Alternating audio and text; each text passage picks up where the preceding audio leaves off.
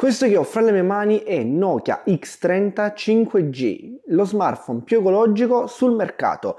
Perché è lo smartphone ecologico? Beh, ve lo spiego in seguito, lo affronteremo con calma, ma prima dobbiamo fare una premessa, cioè l'ecologia è sicuramente importantissima e questo smartphone ha il grande pregio di renderlo un tema anche chiave nella sua lettura. Però un dispositivo per ritenersi valido a 360 gradi deve possedere tutta una serie di importanti caratteristiche. Lui le possederà? Lo scopriremo nel corso di questa recensione, ma prima dobbiamo dare spazio alla nostra sigla.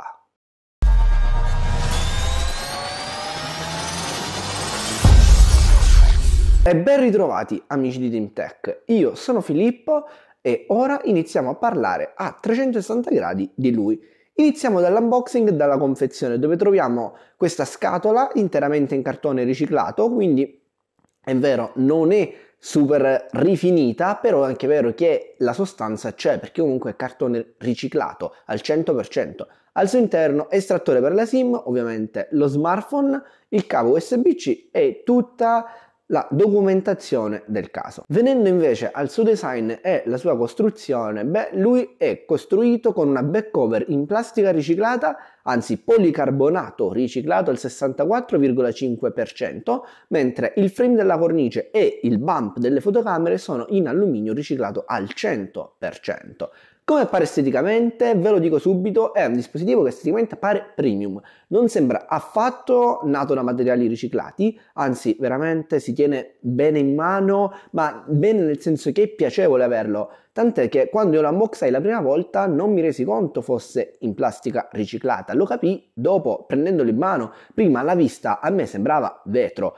In questa colorazione in particolare cloudy blu è veramente molto rifinito, molto raffinato, è bello al tatto comunque anche questo alluminio attorno con questa zigrinatura, eh, il bump delle camere è piccolo, si inserisce bene e richiama appunto il colore della scritta Nokia ma al tempo stesso del frame, della cornice, quindi veramente un dispositivo che per quanto abbia appunto una natura riciclata è premium in tutto e per tutto.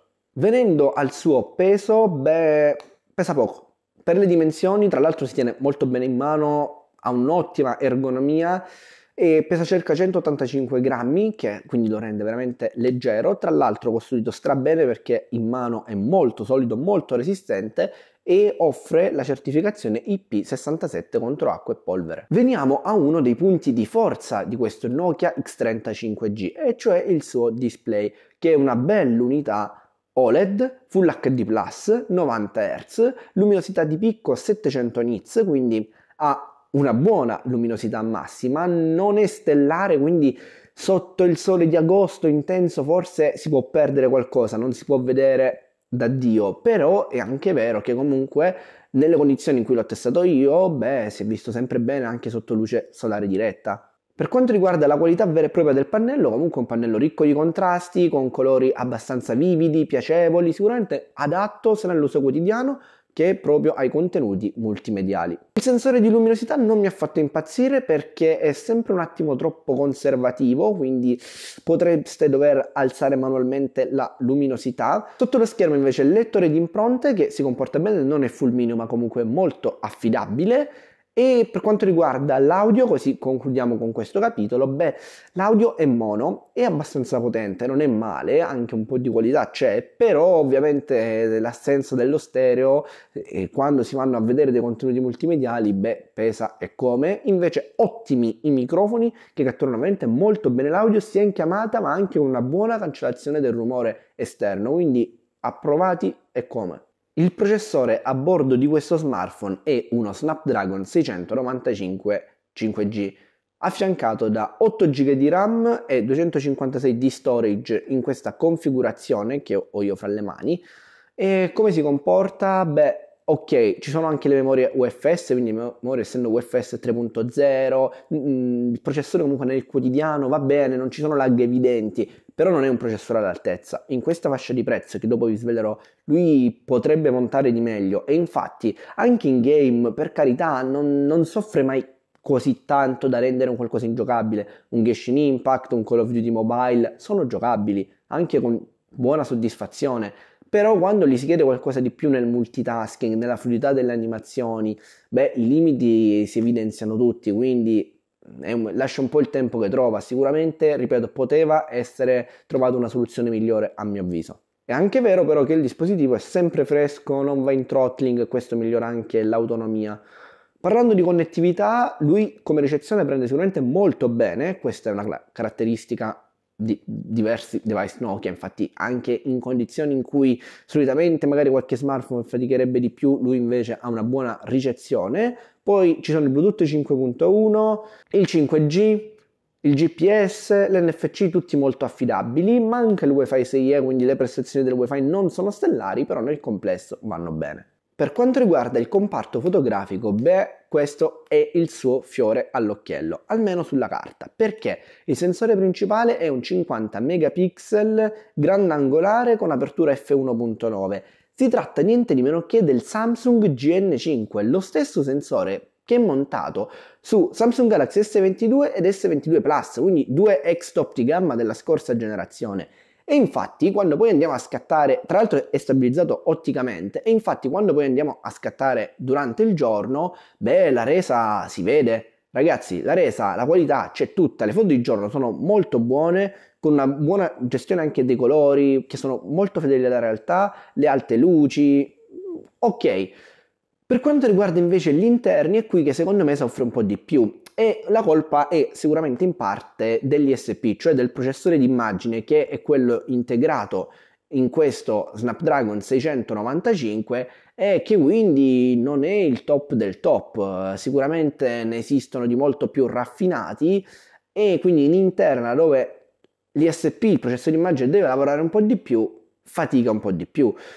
E la differenza si nota tutta quando poi andiamo a intervenire anche nelle stesse situazioni interne con la night mode, e quindi queste considerazioni valgono anche per le foto di notte, perché quando si attiva la night mode le foto invece, raga, sono buone. Quanto riguarda l'ultra grandangolare, che è il sensore secondario, si tratta di un 16 megapixel e come si comporta? Di giorno sopra la media perché le foto, grazie anche a questa risoluzione, hanno proprio un livello di dettaglio più alto rispetto al classico medio gamma con l'8 megapixel, la 12 megapixel però mh, di notte o comunque con luci più complicate, beh, qui viene meno e va proprio ad allinearsi, anche qui secondo me la colpa rimane del 6,95. I video come escono con le dovute limitazioni dovute appunto proprio a questo Snapdragon 695. Perché? Perché finché si rimane su quelli stabilizzati otticamente, cioè Full HD 30 fps, allora il risultato è effettivamente un risultato rispettabilissimo. Vi lascio una clip, quindi commentate anche da voi. Test del video in Full HD 30 fps. Questa è una modalità che include la stabilizzazione ottica, quindi vado un attimo a camminare per valutare la resa, valutate anche la resa dei microfoni tenendo conto che è sabato a Bologna, quindi qui in Piazza Maggiore c'è letteralmente il panico, ma è un ottimo contesto per metterlo alla prova. Qualità video a me non sembra male, è molto fedele alla realtà perché comunque è un cielo molto ombreggiato oggi e si ripercuote anche sui monumenti questo ovviamente. Ora vi faccio una panoramica e poi ognuno ha le proprie considerazioni. Io vi lascerò le mie. Quando invece si sale in Full HD 60 fps viene meno la stabilizzazione e quindi non ci siamo, ma soprattutto non è possibile registrare in 4K perché il 695 non supporta questa risoluzione. Per quanto riguarda il software, a bordo troviamo Android One basato su Android 12 cioè si tratta di quel progetto che porta su questi smartphone una versione di Android completamente stock, priva di qualunque personalizzazione di sorta. Per quanto riguarda gli aggiornamenti, Nokia qui aveva promesso proprio in termini di sostenibilità beh, di offrire tre anni di aggiornamento, quindi tre versioni di Android aggiornate. E però qui siamo ancora fermi alle patch di novembre, quindi verrà aggiornato, magari Nokia sbloccherà la situazione ora che comincia a vendere un po' più di modelli. Può essere, questo io non ve lo posso dire, però ai posteri l'ardua sentenza. Per quanto riguarda la batteria, qui a bordo abbiamo un'unità da 4200 mAh che può sembrare una cifra non entusiasmante, però se ci uniamo un'interfaccia che consuma veramente poco, un processore che abbiamo visto limitato sicuramente nel suo consumo, beh, qui alla fine ragazzi io con un uso stress 4G Plus, misto a wifi, tanti video, tante foto, tante mail in push, Instagram, storie, Raga, io ci ho quasi raggiunto le 7 ore, quindi immagino che un utente comune, che non lo massacro come l'ho massacrato io per il test, lui può raggiungere anche tranquillamente due giorni di autonomia. La ricarica avviene a, fino a 33 watt, che comunque è una cifra non da poco. Non è stellare, però non è da poco. Veniamo ora a parlare del suo prezzo. Lui è disponibile in versione 6.128 su Amazon a 499 euro, mentre a 539 lo si acquista in 8256 sul sito ufficiale di Nokia. Beh, si tratta di cifre che secondo me permettono di aprire un po' di ragionamenti e di discorsi su quanto lui abbia effettivamente senso e per chi sia consigliato. Perché sicuramente un plauso va a Nokia e io lo apprezzo tantissimo per aver portato grande focus proprio di importanza alla tematica della sostenibilità della tecnologia, che secondo me è una tematica spesso sottovalutata proprio quando si pensa alla tecnologia in sé per sé. Però è anche vero che non possono tener conto delle sue ambizioni di mercato, che sono dettate dal prezzo a cui lui è stato rilasciato, ma che però vengono castrate dal processore che è stato adottato. Perché? Perché questo 695 pone un po' di limiti un po' in tutto. Però ci sono anche dei punti di forza, oggettivamente al netto dei limiti l'autonomia, il display, anche il reparto estetico sono dei punti di forza importanti e la natura riciclata gli dà forse quel plus che unito magari a chi ama Android One, perché comunque c'è senza ombra di dubbio chi è un amante di Android One perché non apprezza le personalizzazioni, beh a quel punto allora lui può essere sensato.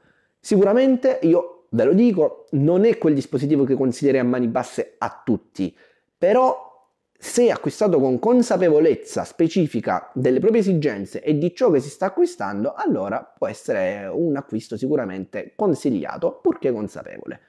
Io spero ragazzi che come io ho parlato di questo dispositivo, voi mi parliate nei commenti di ciò che pensate di questo video.